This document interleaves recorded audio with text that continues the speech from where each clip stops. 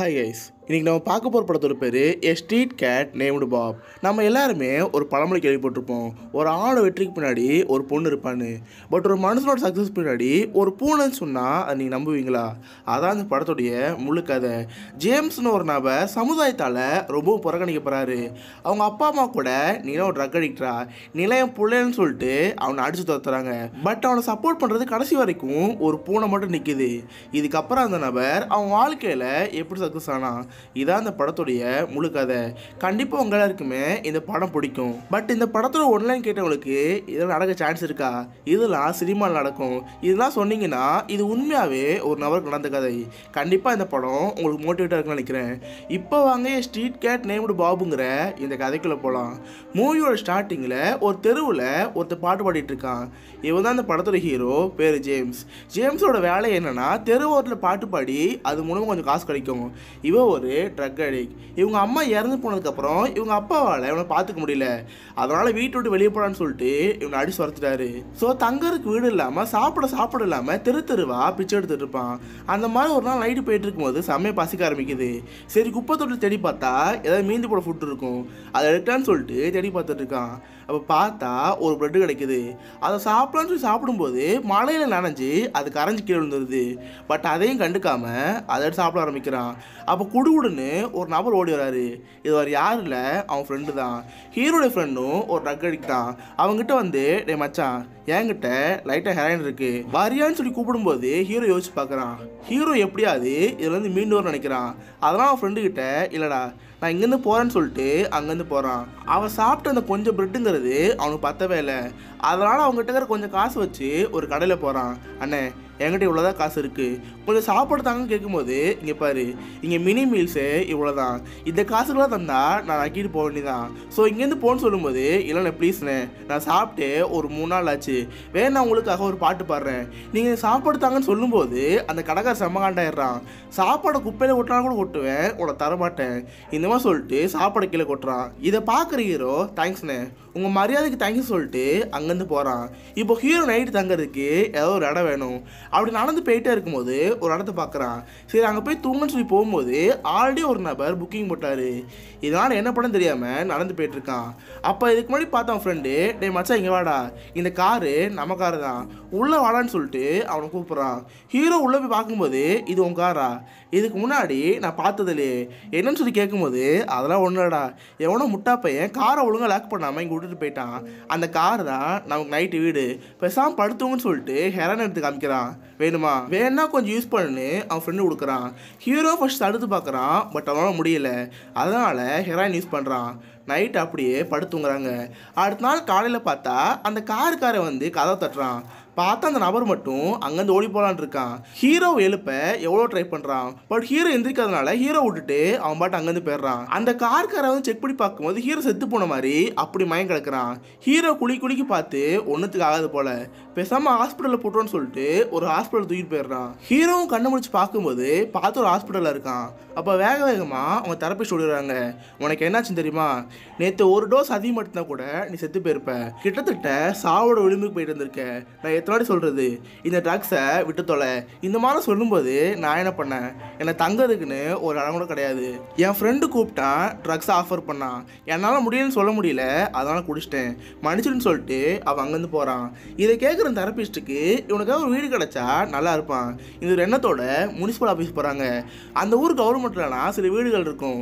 ஜெயிலேருந்து வந்தவங்க இந்த மாதிரி ட்ரக் அடிக்ட் ஆனவங்கன்னு சொல்லிட்டு சில வீடுகள் இருக்கும். அவங்களுக்குன்னு சில செக்யூரிட்டிஸ் இருந்தால் அந்த வீடு தருவாங்க.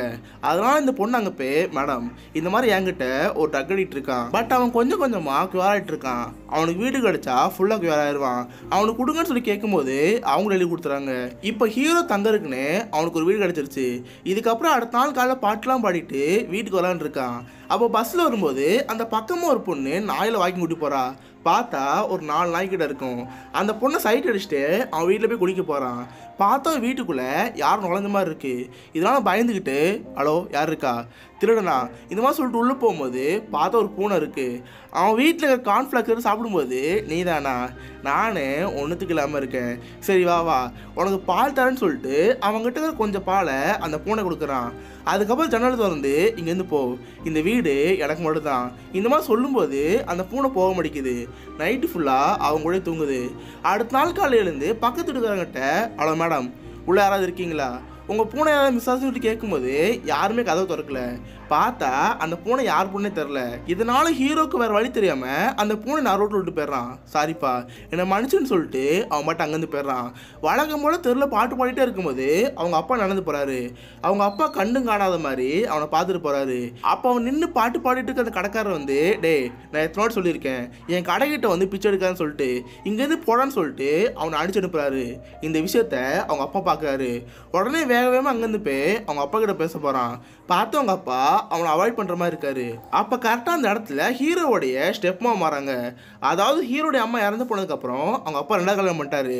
அந்த அம்மா வந்தோடனே டேய் நீங்க என்ன பண்ணிட்டு இருக்க? என் புருஷங்கிட்ட பேசி திருப்பி உள்ளவரம் பார்க்குறியா இந்த மாதிரிலாம் பேசும்போது இல்லை சித்தி நான் சும்மா கிறிஸ்மஸ்க்காக அப்பா கிட்ட பேசியிருந்தேன். இந்த மாதிரி சொல்லும்போது இங்கே பாரு கிறிஸ்மஸ்க்குலாம் வீட்டு பக்கம் வந்துடாத இந்த மாதிரி சொல்லி திட்டும்போது ஹீரோக்கு ஒரு மாதிரி இருக்கு. அந்த சித்தி போனதுக்கப்புறம் அவங்க அப்பா பேசுறாரு இங்கே பாருப்பா உன் சித்தியை மீறி என்னால் ஒன்றும் பண்ண முடியாது. வேணா கொஞ்சம் காசு வச்சுக்கோ. நியூ இயர்க்கு வந்து ஒன்று பார்க்கன்னு சொல்கிறாரு அவனும் அந்த காசு வாங்கிட்டு அங்கேருந்து போகிறான் வேலையெல்லாம் முடிஞ்சதுக்கப்புறம் வீட்டுக்கு வந்து கதை திறக்கான்னு சொல்லி பார்க்கும்போது அவன் கதவு கிட்ட அந்த பூனை வந்து நிற்குது இது பார்க்குற ஹீரோ ஏ பாய் என்னாச்சு? உனக்கு அடிபட்டுருக்கா? இந்த மாதிரிலாம் பார்க்கும்போது அந்த பூனைக்கு லைட் அடிபட்டுருக்கு. இவனுக்கு என்ன பண்ணணும்னு ஒரு ஐடியா இல்லை. பார்த்தா பக்கத்து வீட்டில் அன்னைக்கு ஒரு பொண்ணை பார்த்துருப்பான். அந்த பொண்ணு கூட ஒரு நாலு நாய்கிட்ட கூட்டி போயிருக்கோம். கண்டிப்பாக அந்த பொண்ணுக்கு பூனை பற்றி ஏதாவது தெரியும். அதனால் அந்த பொண்ணுகிட்ட கூட்டி போகணும்னு சொல்லிட்டு அந்த பொண்ணுகிட்ட பேச போகிறான் அந்த பொண்ணுக்கிட்ட அவ்வளோ மேடம் இந்த பூனைக்கு லைட் அடிபட்டிருக்கு. இதை பார்த்துக்கோங்கன்னு சொல்லும்போது அடிபட்டிருக்கா. உள்ளே கூட்டுவாங்கன்னு சொல்லிட்டு அந்த பூனை உள்ளே கூட்டி போகிறாங்க அந்த பூனைக்கு ஃபர்ஸ்ட் எய்ட்லாம் வச்சு இங்கே பாருங்கள் சார் என்னால் இவ்வளோ தான் பண்ண முடியும். பக்கத்தில் போனால் ஒரு சேரிட்டி இருக்கும். அந்த சேரிட்டியில் இந்த விசிட்டிங் கார்டு கொடுத்து உள்ளே போங்க. வாலண்டியருங்க வாலண்டியருங்கிறனால ஃப்ரீயாகவே ட்ரீட்மெண்ட் பண்ணுவாங்க. இந்த மாதிரி சொல்லும்போது ஹீரோ அந்த பூனை தூக்கிட்டு போகிறான் எல்லா ட்ரீட்மெண்ட் முடிஞ்சதுக்கப்புறம் மெடிசனுக்காக ஒரு பில்லு கொடுக்குறாங்க. ஹீரோ மறந்தவங்கன்னு சொல்லிட்டு அந்த கடைக்கு போகிறான் அந்த மருந்தெல்லாம் வாங்கும்போது ஹலோ சார் மருந்து காசு தாங்கன்னு சொல்லி கேட்கும்போது காசா இது ஃப்ரீன்னு கேள்விப்பட்டேன். இந்த மாதிரி சொல்லும்போது ஃப்ரீயா ட்ரீட்மெண்ட்னா ஃப்ரீயாக தருவாங்க. பட் மாத்திரைக்கெலாம் காசு இருக்குது காசு தாங்கன்னு சொல்லி கேட்கும்போது அவன் பிச்சை எடுத்து காசை கீழே போடுறான். இதை பார்க்குறதம்மா என்ன சார் காசு கம்மியாக இருக்குது ஒன்று காசு தாங்க அப்படிலாம் மாற்றி தந்துருங்க. இந்த மாதிரி சொல்லும்போது இவனுக்கு என்ன பண்ணே தெரில அவங்க அப்பா கொடுத்த காசு எடுத்து மேம் இங்கே பாருங்கள் என்கிட்ட ஒரு வாரத்துக்கான சாப்பாடு காசு இது மட்டும்தான். இதையும் உங்கள்கிட்ட கொடுத்தேன்னா அடுத்த வாரம் சோத்துக்கு ஒன்றும் பண்ண முடியாது. ப்ளீஸ் சார் ஃப்ரீயாக பண்ணுங்கன்னு சொல்லும்போது இல்லை சார் நீங்கள் தான் முடிவெடுக்கணும். ஒரு வாரம் சாப்பாடா? அப்படிலாம் இந்த பூனைக்கு மருந்தா? இந்த மாதிரி கேட்கும்போது ஹீரோ யோசிச்சு பார்க்குறான். சரி நம்மளாவது கீழே இருந்து ஏதாவது சாப்பிட்டுக்கோம் இந்த பூனை செத்து போச்சுன்னா என்ன பண்ணுறது இதனால் காசு கொடுத்து அந்த பூனைக்கு மாத்திரை வாங்கிட்டு வரான். வீட்டுக்கு வந்ததுக்கப்புறம் அந்த பூனைக்கு மாத்திரை கொடுக்க ட்ரை பண்ணுறான் பட் பார்த்து அந்த பூனை அங்கேருந்து ஓடி ஓடி போகுது. இதை பார்த்து கடுப்பான ஹீரோ பூனை தூக்கிட்டு அந்த பக்கத்து வீட்டு பொண்ணுக்கிட்ட போயிடுறான். அந்த பக்கத்து வீட்டு பொண்ணுக்கிட்ட ஏங்க நானும் இந்த பூனைக்கு மாத்திரை கொடுக்க ட்ரை பண்ணுறேன் பட் நான் கொடுக்க கொடுக்க வாங்க முடிக்கு. நீங்களே ட்ரை பண்ணுங்கன்னு சொல்லும்போது அவ கொடுத்து பார்க்குறா. பார்த்தா அந்த பூனை போட்டுக்குது.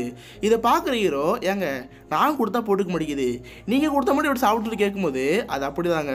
நான் ஒரு அனிமல் லவர் எங்களை மாதிரி ஆட்கள்லாம் பார்த்தா மிருகங்களுக்கு ரொம்ப பிடிக்கும். இந்த பூனையை எனக்கு ரொம்ப பிடிச்சிருக்கு. இதுக்கு நீங்கள் ஏதாவது பேர் வச்சுங்கன்னு சொல்லி கேட்கும்போது பேரா இந்த பூனையே என் பூனை இல்லை. எப்படியும் உடம்பு சரியானதுக்கப்புறம் நானே தெருவில் விட்டுருவேன். இந்த மாதிரி சொல்லும்போது இருக்கட்டும். அது வரைக்கும் பேர் வச்சு கூப்பிட்றதுக்காக ஒரு பேர் வைப்போம். இந்த பூனையோட பேர் பாப். இந்த மாதிரி சொல்லும்போது அவனும் பாபு கூப்பிட ஆரம்பிக்கிறான். அடுத்த நாள் காலைல அவங்க தெரப்பிஸ்ட்டை பார்த்து எல்லாரும் சொல்ல ஆரம்பிக்கிறான். இந்த மாதிரி புதுசாக ஒரு பொண்ணை பார்த்தது ஒரு பூனையை பார்த்தது அவங்க அப்பா பார்த்தது இந்த மாதிரி எல்லாத்தையும் சொல்ல ஆரம்பிக்கிறான். இதை பார்க்குற தெரப்பிஸ்ட் இங்கே பாரு ஜேம்ஸ் உன் வாழ்க்கையில் நீ எதுக்கு டக்கு அடிக்ட் ஆன? நீ ஒரு பொண்ணை லவ் பண்ண அவள் ஒன்றுட்டு போயிட்டா. அந்த ஃபெயிலியர்னால தான் நீ டக்கு அடிக்ட் ஆன. நீ இப்போ இன்னொரு பொண்ணுட்டு பழக ஆரம்பிச்சுன்னா இது அப்படி தான் ஆகும். ஸோ எந்த ஒரு ரிலேஷன்ஷிப்லையும் இன்வால்வ் ஆகாத. இந்த மாதிரி தரப்பி சொல்லும்போது ஹீரோ சரி சொல்கிறான் இப்போ ரெண்டு நாளாக அழகாக அந்த பொண்ணை பார்த்துக்கிறான்.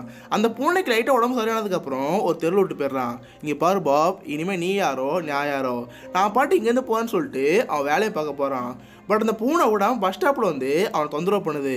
இதை பார்க்குற ஹீரோ இங்கே பாரு பாப் எனக்குன்னு ஒரு வேலை இருக்குது நீ இங்கேருந்து போன்னு சொல்லிட்டு பஸ் ஏறி அங்கேருந்து போகிறான் பட் அந்த பூனை நிற்காம அதே பஸ்ஸில் ஏறி போயிருது. அந்த பஸ்ஸில் இருக்கிற எல்லாருமே ஜுஜு ஜு ஜுஜு புஜ்ஜு குட்டி எப்படி இருக்கீங்கன்னு சொல்லிட்டு அந்த பூனை கொஞ்சம் ஆரம்பிக்கிறாங்க. பட் அந்த பூனை அவங்ககிட்டலாம் போகாமல் ஹீரோ மட்டும் உட்காருது. அந்த பஸ்ஸோட கண்டக்டர் அவனை பார்த்து டேய் இந்த பூனை ஓம் போனையா? அழகாக இருக்குன்னு சொல்லும்போது நீங்கள் இந்த பூனைக்கு சேர்த்து டிக்கெட் போடுறதா இருந்தால் இது ஏன் பூனை இல்லை. இல்லை டிக்கெட் போட மாட்டேன்னு சொன்னீங்கன்னா இது ஏன் பூனை தான் இந்த மாதிரி சொல்லும்போது சரி சரி விடு. இந்த பூனைக்கு டிக்கெட்லாம் போட மாட்டேன். இந்த பூனை பார்க்கறதுக்கே அழகாக இருக்குது என் சைட்லேருந்து ஏதாவது தாரேன்னு சொல்லிட்டு அவள் ஷூலேஸ் எடுத்து ஒரு கயிறு மாதிரி கொடுக்குறா. அதை கழுத்தில் மாட்டிட்டு ஹீரோ கூட்டிகிட்டு போகிறான் வழக்கம் பாட்டு பாடன்னு சொல்லி பாடும்போது அன்னைக்குன்னு பார்த்தா நிறைய பேர் வராங்க. பார்த்தா இவன் பாட்டுக்காக வராமல் அந்த பூனையை பார்க்க வராங்க. இதனால் வழக்கத்தை விட அவங்க நிறைய காசு கிடைக்குது. இப்போ அவங்ககிட்ட நிறைய காசு இருக்குது இது எல்லாத்தையுமே அவன் ஃப்ரெண்டு பார்த்துட்டு இருக்கான். ஒரு நாள் அவன் ஃப்ரெண்டு அவனை ஃபாலோ பண்ணிட்டு டே மச்சான் மச்சான் சாப்பிட கூட காசு இல்லைடா. ஏதாவது காசுன்னு சொல்லி கேட்கும்போது இங்கே பாரு நான் தர காசை சாப்பாடுக்கு யூஸ் பண்ணணும். எக்காரணத்துக்கு ஒன்றும் ட்ரக்ஸ் வாங்கக்கூடாது. உன்னை நம்பி கொடுக்குறேன்னு சொல்லிட்டு காசு கொடுக்குறான். அது மட்டும் இல்லாமல் இதான் கடைசி வாட்டி. நான் இனிமேல் நான் பார்க்க மாட்டேன்னு சொல்லிட்டு ஹீரோ அங்கேருந்து போகிறான் அவன் ஃப்ரெண்டாக அந்த காசை வாங்கிட்டு அங்கேருந்து போயிடுறான். ஹீரோட வாழ்க்கையில் எப்போ அந்த பூனை வந்துச்சோ அப்போ அந்த வாழ்க்கை அழகாக போகுது. அவனுக்கு நிறைய காசு வருது. அந்த பூனை சாக்க வச்சு ஹீரோ கிட்ட பேசுறது இந்த மாதிரி லைஃப் நல்லா போயிட்டுருக்கு ஹீரோ பாட்டு பாடுறதை பார்க்குறவங்களும் அந்த பூனைக்காக நிறைய சாப்பாடுலாம் கொண்டு வராங்க. அந்த பூனைக்குன்னு கிஃப்ட்டு மஃப்ளர்லாம் கொண்டு வந்து அது கொடுக்குறாங்க. இதை பார்க்குற ஹீரோ ரொம்ப சந்தோஷப்படுறான். ஒரு நாள் நைட்டு கடைக்கு போயிட்டு வரும்போது யாரோ ஒருத்தர் கீழே இருக்கிற மாதிரி இருக்கு. பார்த்தா அவன் ஃப்ரெண்டு தான். ட்ரக்ஸ் அடிச்சுட்டு கீழே மட்டையை கிடக்குறான். இதை பார்க்குற ஹீரோ என்னடாச்சு எந்திரின்னு சொல்லும்போது அவன் எந்திரிக்காமல் இருக்கான். அப்போ அந்த பக்கமாக ஹீரோயின் நடந்து வராங்க. அவன் பார்த்தா கீழே மட்டையாக இருக்கான். ஹீரோயின் எவ்வளோ எழுப்ப ட்ரை பண்ணுறாங்க பட் ஆள் எந்திரிக்க மாட்டேங்கிறான். ஸோ அதனால் வேக வேகமாக ஆம்புலன்ஸ் கால் பண்ணி ஆம்புலன்ஸ் வர வைக்கிறாங்க. டாக்டர்ஸ் வந்து செக் பண்ணி பார்க்குறப்ப ஆள் செத்து போயிட்டான். வழக்கத்தை விட டோஸ் அதிகமாக கொடுத்தனால ஆள் செட்டு பேர் சொல்கிறாங்க இது பார்க்குற ஹீரோ ரொம்ப கஷ்டப்படுறான். ஏன்னா அவன் கொடுத்த காசு வச்சு தான் ட்ரக்ஸ் வாங்கியிருக்கான். அதனால தான் அவன் ஃப்ரெண்ட்ஸ் செத்து போயிருக்கான். இந்த ஒரு வருத்தம் அவன் மனசுக்குள்ளே இருக்குது அது மட்டும் இல்லாமல் ஹீரோயினும் ஏதோ ஒரு விஷயத்தை நினச்சிக்கிட்டு தேம்பி தேம்பி அழுதுட்டு இருக்கா.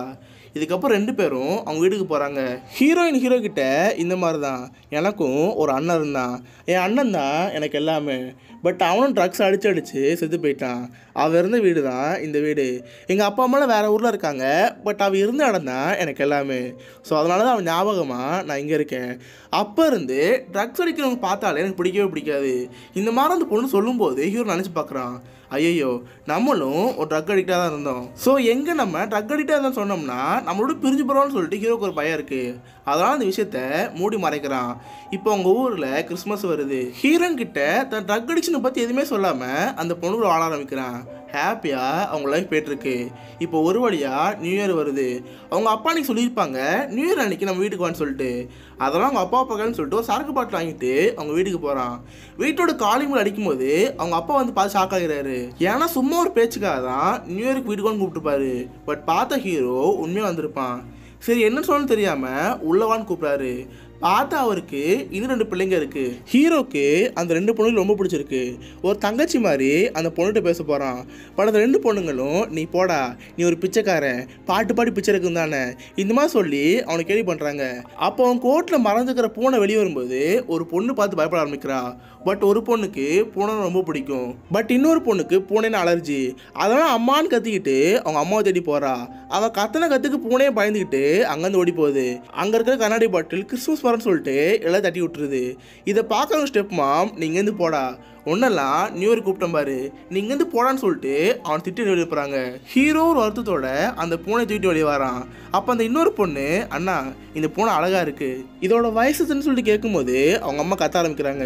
இதனால அந்த பொண்ணும் வீட்டுக்குள்ளே போயிடுது இதுக்கப்புறம் ஹீரோ வழக்கம் போல் அவன் வாழ்க்கை வாழ ஆரம்பிக்கிறான். தெரு ஓரமாக உட்காந்து பாட்டு பாடிட்டு இருக்கும்போது வழக்கமாக நிறைய பேர் பார்த்துருக்காங்க. அப்போ ஒரு பணக்கார வீட்டு பையன் அந்த பக்கமாக வரான் அவனுக்கு பூனை சுத்தமாக பிடிக்கவே பிடிக்காது. அது மட்டும் அவன் பார்க்கறதுக்கு பிச்சைக்கார மாதிரி இருக்கான். பணக்கார வீட்டு பசங்களுக்கு அவனை பார்த்து ஒரு இலக்கிற மாதிரி இருக்குது அதனால வேணுக்குன்னு அவன் பேக்கில் அவன் நாயை வச்சு மூச்சா போ வச்சிடறான். அவன் நாயும் பிஸ் அடிச்சிருது. இதை பார்க்குற பக்கத்தில் இருக்கிறவங்க டே ஏண்டா பணக்கார வீட்டு பையனா? நீ பெரிய இவனா? அவங்ககிட்ட மன்னிப்புக்கன்னு சொல்லிட்டு அவன் ரொம்ப இருக்கிறாங்க பட் அந்த விஷயம் ஒரு சண்டையாக மாறிடுது. இப்போ அந்த இடத்துக்கு போலீஸில் வந்து ஹீரோ பிடிச்சி போயிடுறாங்க. பட் அந்த பூனை எங்கேயோ மிஸ் ஆயிருது. இப்போ ஹீரோ தூக்கி ஜெயில போறாங்க அவங்க தெரபிஸ்ட் வந்து ஹீரோ காப்பாத்துறாங்க. நல்ல வேலை. நீ இருந்த இடத்துல சிசிடிவி கேமரா இருந்துச்சு. உனக்கு இந்த பிரச்சனைக்கு ஒன்றுன்னு சொல்லிட்டு உன்னை காப்பாத்திட்டேன். இன்னைக்கு நீ ஆன்டிடோஸ் எடுத்தாகணும். ட்ரக்ஸ் அடிஷன்லேருந்து வெளியே வரதுக்காக ஒரு மெடிசன் மெடிக்கல் ஷாப்பில் வைக்கும். அதை போய் ஃபர்ஸ்ட் வாங்கி போட்டு உன் பூனை தேடு. இந்த மாதிரி சொல்லும்போது ஹீரோ செய்ய சொல்கிறான் வேக வேகமாக ஒரு மெடிக்கல் ஷாப்புக்கு போய் அந்த ட்ரக் அடிஷனுக்கான மருந்தான் குடிச்சிட்டு இருக்கான். அதை குடிச்சிட்டு பின்னாடி பார்த்தா ஹீரோ நின்றுட்டு இருக்கா. ஹீரோயினுக்கு செம்ம ஷாக்காக இருக்குது ஹீரோ பார்த்தோன்னே நீ ஒரு ட்ரக் அடிக்டாக இருந்தியா? இது நினச்சிக்கிட்டு அவள் அங்கேருந்து போகிறா ஹீரோ எவ்வளோ கெஞ்சி பார்க்குறான். ப்ளீஸ் ப்ளீஸ் என்னை விட்டு போயிடாத நான் உங்ககிட்ட மறைச்சது தப்பு தான். என்னை மன்னிச்சுன்னு சொல்லி கேட்கும்போது இல்லை நீ என்கிட்ட எதுக்காக போய் சொன்ன? நான் தான் உங்கள்கிட்ட சொன்னல ட்ரக் அடிக்டர்னா எனக்கு பிடிக்கவே பிடிக்காது. நீ இங்கேருந்து போன்னு சொல்லும்போது இங்கே பாருப்பான் நான் ஒன்றும் ட்ரக் அடிக்டர்லாம் இல்லை. ஒரு காலத்தில் ட்ரக் அடிக்டராக இருந்தேன். பட் இப்போ இல்லை. ப்ளீஸ் என்னை ஏற்றுக்குன்னு சொல்லும்போது அவள் அங்கேருந்து போகிறா ஹீரோக்கு செம கோபமாக இருக்குது அந்த கோபத்தோட வீட்டுக்கு போனால் அப்போ தான் ஞாபகம் வருது. இவ கூட போட்ட சண்டையில் பூனையை மறந்துட்டோமே. சரி அதை தேடுன்னு சொல்லிட்டு தெரு தெருவாக தேடுறான். எப்படியோ ஒரு வழியாக அவன் பூனையை கண்டுபிடிக்கிறான். அது மட்டும் இல்லாமல் ஹீரோ ஜெயிலுக்கு போனனால போலீஸ் சொல்லியிருப்பாங்க.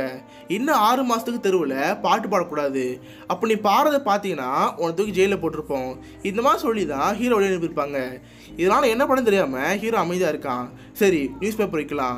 இந்த மாதிரி ஒரு ஐடியாவோட ஒரு நியூஸ் பேப்பர் கம்பெனியில் ஜாயின் பண்ணுறான் அந்த மேகசினில் இருக்கிறவங்களும் தம்பிங்க கேட்பாரு ஒரு ஒருத்தவங்களுக்கும் ஒரு ஒரு கடை இருக்கும். நீ இந்த கடைக்கு ஒரு கஸ்டமர் கிட்ட விற்க ஆரம்பிக்கணும். இன்னொரு கடையில் ஒன்று மாதிரியே இன்னொரு வித்துட்டு இருப்பான். பட் அவசியம் இல்லை நீ இது மூக்க விடக்கூடாது உன் கடைக்கு வேறு யார் வராங்களோ அவங்கள்ட்ட தான் விற்கணும் இதுக்கு ஓகேன்னு சொல்லும்போது இவன் சரின்னு சொல்கிறான் இப்போ மேகசின்லாம் வாங்கிட்டு விற்க ஆரம்பிக்கிறான். வழக்கம் போல் ஹீரோ கிட்ட பூனை அந்த பக்கமும் போகிற எல்லாருமே ஹீரோ கிட்ட மேகசின் வாங்குறாங்க. இதனால் அவங்ககிட்ட நிறைய காசு வருது. இதை பக்கத்துலேருந்து பார்க்குற மற்ற எல்லாருமே பாத்தியா ஒரு பூனை வச்சுக்கிட்டு நம்ம வியாபாரத்துக்கு எடுத்துகிட்டு இருக்கான். இருடா ஒரு நாள் இல்லை ஒரு நாள் நீ என்கிட்ட மாட்டுவ. இந்த மாதிரி சொல்லிட்டு மனசுக்குள்ளே ஒரு பகை வச்சுட்டு இருக்காங்க. ஹீரோக்கு செம்மையா வியாபாரம் போகுது. அப்போ அந்த பக்கமாக போன ரிப்போர்ட்டை தம்பி நான் உன்னை ஃபோட்டோ எடுத்துக்கலாமா? நான் ஒரு ஆர்டிக்கல் எழுதிட்டு இருக்கேன். உன்னை பற்றி எழுதாமல் சொல்லி கேட்கும்போது அவன் சரி சொல்கிறான் அவனை ஃபோட்டோ எடுத்துகிட்டு அந்த ரிப்போர்ட்டர் அங்கேருந்து போகிறாரு அது மட்டும் இல்லாமல் அவன் பாடுறத ஒரு வீடியோ எடுத்துக்கிறாரு. இதுக்கப்புறம் ஹீரோ அங்கேருந்து ஒரு கடை வழியாக நடந்து போயிட்டுருக்கான் அப்போ அந்த பக்கமாக போன கப்பல் சாசா நில்லுங்க. ஒரு வாட்டி உங்கள் பூனையை உங்களுக்கு ஃபோட்டோ எடுத்துக்கவா இந்த மாதிரி கேட்கும்போது அவன் சரி சொல்கிறான் ஃபோட்டோ எடுத்ததுக்கப்புறம் தேங்க்ஸ் சார் அதுக்கு இதை வச்சுக்கோன்னு சொல்லிட்டு பாக்கெட்டில் காசை போட்டு ஒரு புக்கு தூக்கிட்டு போயிடுறா. இது எல்லாத்தையுமே பக்கத்தில் இருக்கிற அந்த வியாபாரிகள் பார்க்குறாங்க அவனுக்கு ஹீரோ மேலே பழி போடுறதுக்கு செம்மையாக சான்ஸ் எடுத்துருச்சு அடுத்த நாள் சாயங்காலம் நியூஸ் பேப்பர் கம்பெனிக்கு போய் மேம் இங்கே பாருங்க. அவ ஏரியாவில் மேக்ஸின் விற்காம எங்கள் ஏரியாவில் வந்து ஒரு சேல்ஸ் பண்ணியிருக்கான். அதனால் அவனை வேலை விட்டு தூக்குங்க. இந்த மாதிரிலாம் கேட்கும்போது ஹீரோ கூட பேசுகிறாங்க உண்மையை சொல்லு. அவன் சொல்கிறது உண்மைன்னு சொல்லி கேட்கும்போது இல்லை மேடம் நான் பாட்டு நடந்து போயிட்டு இருந்தேன் அப்போ மேம் வந்தாங்க. அவங்க பாட்டு காசை போட்டு ஒரு புக்கு தூக்கிட்டு போயிட்டாங்க. இதுக்கு எனக்கு சம்மந்தம்னு சொல்லும்போது இல்லைடா நீ போய் சொல்கிற நான் ரெண்டு கணால பார்த்தேன். நீ ஏன் ஃபோர்ஸ் பண்ணி அவங்களோட புக்கு விற்ற இதை நான் பார்த்தேன்னு சொல்லும்போது இல்லை மேடம் நான் விற்கவே இல்லை. இந்த மாதிரி சொல்லும்போது இல்லை நீ புக்கு விற்றது புக்கு விற்றது தான் ஸோ ஒரு மாதத்துக்கு உனக்கு புக்கு தர மாட்டோம் நீ ஒரு மாதம் கழிச்சு வேணா இந்த வேலைக்கு வா. இந்த மாதிரி சொல்லி ஹீரோ அனுப்பி வைக்கிறாங்க. ஹீரோவுக்கு செம கோபமாக இருக்குது ஏன்னா ஆறு மாதத்துக்கு அவனால் தெருவில் பாட்டு பாட முடியாது. பாட்டு பாடினா ஜெயிலில் தூக்கி போடுறாங்க இன்னும் ஒரு மாதத்துக்கு அவனால் புக் வைக்க முடியாது. ஸோ இருக்கிற காசு வச்சு தான் ஒரு மாதம் ஓட்டி ஆகணும். என்ன பண்ண தெரியாமல் அமைதியாக இருக்கான். அவனுக்கு சாப்பிடலனாலும் பரவாயில்ல. அவனை நம்பி ஒரு ஜீவன் இருக்குது அதுக்கு என்னப்பான்னு சொல்லி யோசிச்சுட்டு இருக்கான். வேறு வழி இல்லை. பாட்டு தான் பாடியாங்கன்னு சொல்லிட்டு ஒரு தெருவில் நின்று பாட்டு பாடிட்டு இருக்கான். இதை எல்லாத்தையுமே அந்த பக்கத்து இருப்புன்னு பார்த்துட்டு இருக்கு ஹீரோ கிட்ட வந்து உனக்கு அறிவு இல்லையா? உன்னை தான் பேன் பண்ணியிருக்காங்கல்ல. உன்னை யாராவது போலீஸ் பார்த்தாங்கன்னா பிடிச்சிட்டு போயிடுவாங்க. இந்த மாதிரிலாம் அந்த பொண்ணு சொல்லும்போது உனக்கு என்ன? நீ தான் அன்னைக்கு என்னை விட்டுட்டு போனில்ல. இப்போ மட்டும் அக்கறையா இருக்கு. எங்களை வந்து பேசுகிற இங்கேருந்து போன்னு சொல்லிட்டு ஹீரோனை திட்டு அனுப்புகிறான் இதனால் ஹீரோயினும் அங்கேருந்து போகிறான் ஹீரோ பாட்டு பாடுறான் பட் முன்னே மாதிரி அவனுக்கு காசு கிடைக்கல. இதனால் அமைதியாக அங்கேருந்து போயிடுறான். பட் எப்படியோ ஒரு வழி வழியாக இருக்கிற மிச்ச காசை வச்சு ஒரு மாதத்தை ஓடிட்டான். அடுத்த மாதம் அந்த கம்பெனியில் போய் மேடம் ஒரு மாதம் முடிஞ்சு. எகைன் புக்கு தாங்கன்னு சொல்லி கேட்கும்போது அவங்களும் கொடுத்துறாங்க. எகைன் வழக்கம் போல் புக்கு விற்க ஆரம்பிக்கிறான். அப்போ அந்த பக்கமாக போன ஒரு லேடி ஹீரோ கிட்ட வந்து பேசுகிறாங்க தம்பி இந்த பூனை அழகாக இருக்குது இந்த பூனை என்கிட்ட தாரேன்னு சொல்லி கேட்கும்போது இல்லை மேடம் இந்த பூனை நான் சேல்ஸில் வைக்கிறது இல்லை. உங்களுக்கு வேணா என் மேகசின் வாங்கிட்டு போங்க. இந்த மாதிரி சொல்லும்போது இல்லை தம்பி இல்லை தம்பி நான் மேகசினும் வாங்கிக்கிறேன் உன் பூனை வாங்கிக்கிறேன். எவ்வளோ காசு வேணுமோ அதை நான் தாரேன். இந்த மாதிரி சொல்லும்போது பக்கத்தில் இருக்கிற ஆட்கள் பார்க்க ஆரம்பிக்கிறாங்க. பார்த்தா பக்கத்துலேயே ஒரு நாய் இருக்குது இதை பார்க்குற ஹீரோ என்ன சொன்னீங்க? பூனை காசு தரீங்களா? சரி மேடம் உங்கள் பையனுக்கு எவ்வளோ ரேட்டுன்னு சொல்லுங்கள் நானும் காசு தரேன். உங்கள் பையனை என்கிட்ட விற்றுட்டு நீங்கள் பாட்டு வீட்டுக்கு போங்க. இந்த மாதிரி சொல்லும்போது பிச்சைக்கார நாய்க்கு எவ்வளோ திமுரு? பிச்சை எடுக்கிறவனுக்கு ரோசத்தை பாரு. இந்த மாதிரி திட்டு அந்த அம்மா அங்கேருந்து போகிறாங்க அப்போ பக்கத்துக்கு நாய்கள்லாம் பாபு பார்த்து பழைக்குது. இதனால் அந்த பூனை அங்கேருந்து ஓடி போகுது. ஹீரோ அதை ஃபாலோ பண்ணிட்டே போகிறான் பட் பாபு பயந்துக்கிட்டு அங்கேருந்து ஓடி போயிடுது. ஹீரோ ஃபாலோ பண்ணிட்டே போகிறான் பட் ஒரு கட்டத்துக்கு மேலே அவன் பாபு மிஸ் பண்ணிடுறான். இதனால பூனை அங்கேருந்து போயிடுது. சரி வீட்டில் போய் வெயிட் பண்ணால் கண்டிப்பாக பாபு வருவான். சாயங்காலம் அவனை பார்க்கலாம். இந்த ஒரு எண்ணத்தோட வீட்டுக்கு போகிறான் பட் ஈவினிங் ஆகுது பாபு வரவே இல்லை. பாபுக்காக அங்கே வெயிட் பண்ணுறான் அடுத்த நாள் காலையில் அன்றைக்கி ஒரு நபர் ஒரு ஃபோட்டோ எடுத்து போயிருப்பாரு. இவனை வச்சு ஒரு மேகசின் ரிலீஸ் ஆகுது. இவனும் ஒரு அஞ்சு நாள் கிட்ட பாபுக்காக வெயிட் பண்ணுறான் பட் பார்த்தா அந்த பூனை வரவே இல்லை. திடீர்னு அவன் வீட்டுக்குள்ளே யாரோ வந்த மாதிரி இருக்குது பார்த்தா பாப் தான் இருக்கு. பாப் நீ எங்கே போன? நீ இல்லாமல் அஞ்சு நாள் பைத்தியம் முடிச்ச மாதிரி இருந்துச்சு. நீ வந்து செம்ம ஹாப்பியாக இருக்குன்னு சொல்லிட்டு அதை கொஞ்சம் ஆரம்பிக்கிறான். இப்போ அப்படியே கட் பண்ணால் ஒரு புக் கம்பெனி காமிக்கிறாங்க. ஒரு புக் பப்ளிஷர் ஹீரோவுடைய அந்த ஆர்டிக்கலை படிக்கிறாங்க. அதை பார்க்கும்போது ரொம்ப இன்ஸ்பைரிங்காக இருக்குது உடனே அவன் கம்பெனியில் வேலை பார்க்க ஒரு பொண்ணை கூப்பிட்டு இவன் யார்? இவனை பற்றின விஷயங்கள் தெரிஞ்சாகணும். இந்த மாதிரி சொல்லும்போது இவனுக்கு தெரியாத மேடம் இவன் தான் இப்போ பாப்புலராக இருக்கான். யூடியூப் இன்ஸ்டாகிராம் ஃபேஸ்புக் எது திறந்தாலும் இவன் தான் இருக்கான். இவன் பாடின வீடியோவை யாரும் யூடியூப்பில் போட்டாங்க. கொஞ்ச நாள் ஒன் மில்லியன் ரீச் ஆயிடுச்சு இந்த மாதிரி சொல்லும்போது அந்த அம்மாவுக்கு ரொம்ப பிடிச்சிருக்கு. இவன் வாழ்க்கையை ஒரு புக்காக தான் எப்படி இருக்கும் இந்த ஒரு எண்ணம் அந்த அம்மாவுக்கு வருது. இப்போ அப்படியே கட் பண்ணால் ஹீரோ காமிக்கிறாங்க. ஹீரோ வழக்கமாக தெரப்பிஸ்ட் மீட் பண்ணும்போது அவன் மனசுல எண்ணம் வருது. ஒவ்வொரு மாதமும் அவன் ட்ரக் அடிக்ஷனை குறைக்கிறதுக்காக ஒரு மருந்து யூஸ் பண்ணுவான். பட் அவன் தெரப்பிஸ்ட் கிட்ட நான் இந்த மாதம் யூஸ் பண்ண போகிறது இல்லை அதனால் சில வழிகள் வரும். அதை பொறுத்துக்கிட்டு அதில் வந்து மீண்டு வரலான்னு இருக்கேன். இந்த மாதிரி சொல்லும்போது ஷோர்ரானா அது யூஸ் பண்ணேன்னா செம்மையாக வலிக்க ஆரம்பிக்கும். உடம்புலாம் ஏதோ கம்பியை போட்டு குத்துற மாதிரி இருக்கும். ஓகேவான்னு சொல்லி கேட்கும்போது அவனும் ஒத்துக்கிறான். இதுக்கப்புறம் வீட்டுக்கு வரான்னு சொல்லி இருக்கும்போது அந்த பொண்ணோட ஞாபகம் வருது. அன்னைக்கு வேற ஹாஷாக திட்டோம் சரி சாரி கேட்கலான்னு சொல்லிட்டு அந்த பொண்ணை பார்க்க போகிறான் பட் அந்த பொண்ணு கதை திறக்காம அவனை அவாய்ட் பண்ணுது. இதனால ஹீரோவும் ஒரு வருத்தத்தோடு அங்கேருந்து போயிடுறான். வீட்டில் வந்து படுக்கும்போது அவன் செம்மையாக உடம்பு அடிக்க ஆரம்பிக்குது.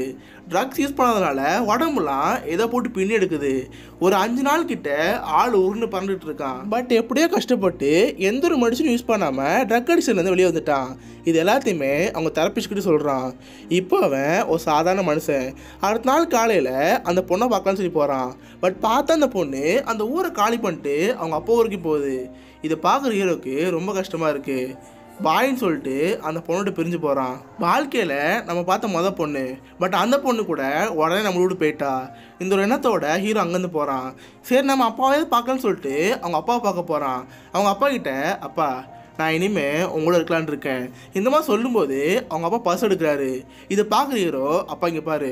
நான் ஒன்றும் காசுக்காக இங்கே வரல. முன்னை விட என்கிட்ட காசு அதிகமாகவே இருக்குது நான் ஒன்றும் அதுக்காக வரல. இந்த மாதிரி சொல்லும்போது நான் காசுலாம் தரல. நான் என் பர்ஸில் உன் ஃபோட்டோ வச்சுருந்தேன். இந்த மாதிரி சொல்லிட்டு அவன் சின்ன வயசு ஃபோட்டோ கொடுக்குறாரு. உனக்கு தெரியுமா? எல்லா தப்பும் என் மேலே தான் இருக்குது உங்கள் அம்மா செத்து போனதுக்கப்புறம் நான் தான் உன்னை பார்த்துருக்கணும். நான் தான் உன்னை ட்ரக் வெளியே கூட்டு வந்துருக்கணும். பட் நீ சின்ன பையன் இருக்கும்போது உன்னை வீட்டோட வெளியே துரத்துட்டேன். உனக்கு அப்பாவாக இருக்கிறதுக்கு எனக்கு தகுதி இல்லை. நீ வெளியே போய் எப்படி வேணால் வாழு. சாதிச்சுட்டு உன் சித்தி மூஞ்சில் கறியை பூசு. இந்த மாதிரி அவங்க அப்பா சொல்லும்போது உனக்கு செம்ம இன்ஸ்பிரேஷனாக இருக்குது உடனே வேகமாக அங்கேருந்து போகிறான் அப்போ அந்த புக் பப்ளிஷர் ஹீரோ பார்த்து சார் உங்கள் ஆர்டிக்கல்லாம் படித்து பார்த்தேன் செம்மையாக இருந்துச்சு. உங்கள் லைஃப்பை ஒரு புக்காக எழுதினா எப்படி இருக்கும்? ஸோ நீங்கள் எப்படி ஃபஸ்ட்டு ஃபஸ்ட்டு இந்த பூனையை பார்த்தீங்க? உங்கள் ரெண்டு பேர்த்து கடையில் இருக்கிற அந்த கெமிஸ்ட்ரி எப்படி இருக்குது உங்கள் ரெண்டு பேர்த்து கடையில் இருக்கிற அந்த பாண்டிங் எப்படி இருக்குது இதை பற்றியெல்லாம் ஒரு சுவாரஸ்யமாக ஒரு நோட் எழுதித்தாங்க. அதை உங்கள் பேர் ஒரு புக்காக பப்ளிஷ் பண்ணுறோம் இதை பார்க்குற ஹீரோக்கு ரொம்ப ஹாப்பியாக இருக்குது அவனும் பாப்பும் ஃபஸ்ட்டு ஃபஸ்ட்டு எப்படி பார்த்தோம்? இந்த மாதிரி சுவாரஸ்யமான விஷயங்களை ஒரு நோட்டில் எழுத ஆரம்பிக்கிறான். அதை அந்த புக் பப்ளிஷர் கிட்ட கொடுக்கும்போது ஒரு புக்காக எழுதி பப்ளிஷ் பண்ணுறாங்க அந்த புக்கோட பேர் தான் a street cat named Bob ஹீரோடைய பேரில் அந்த புக்கை லான்ச் பண்ண ட்ரை பண்ணுறாங்க மற்ற புக்கை விட அந்த புக்கு செம்ம சேல்ஸ் ஆகுது.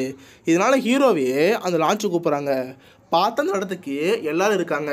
ஹீரோ அவமானப்படுத்தவங்க அவங்க சித்தி அவனோட பிரிஞ்சு போன அந்த பக்கத்து வீட்டு பொண்ணு அவனை மோட்டிவேட் பண்ண அந்த பஸ் கண்டக்டர்னு சொல்லிட்டு எல்லாருமே இருக்காங்க. அவங்க முன்னாடி ஒரு மோட்டிவேஷன் ஸ்பீச் கொடுக்குறான். இது மூலியமா அவன் பேர் ஃபுல்லாக பரவ ஆரம்பிக்குது. என்னதான் ஹீரோடைய பேர் உலகம் ஃபுல்லாக பரவினாலும் அவன் பண்ண வேலைங்கிறது தொழில் பிச்சு எடுத்ததான் அதை விடக்கூடாதுன்னு சொல்லிட்டு கடைசி வரைக்கும் அந்த பூனை கூட பாட்டு பாடிட்டு இருக்கான் இங்கேயே எ ஸ்ட்ரீட் கேட் நேம்டு பாபுங்கிற இந்த படம் முடியுது.